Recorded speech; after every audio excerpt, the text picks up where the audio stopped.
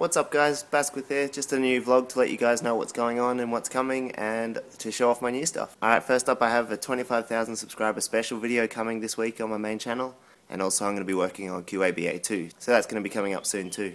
I've also had a few requests for me to make a tattoo video. I've got about 7 or 8 tattoos now and I've got a few people asking me what tattoos I've got so I'm going to be making a video to show off them too. Alright, now let's check out the new shoes.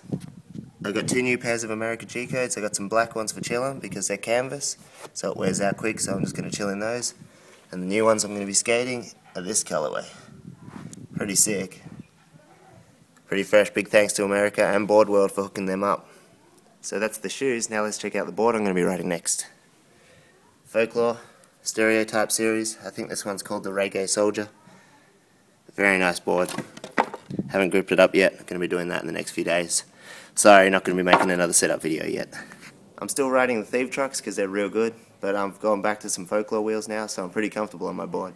Oh, I forgot to mention, these Destroy All Scooters t-shirts are now on sale, $20 in Australia, and if you live around the world, they're only $25. All you gotta do is search up the Destroy All Scooters Facebook page and hit the store tab.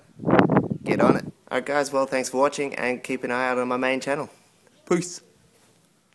Oh, and I also got that new look PS3.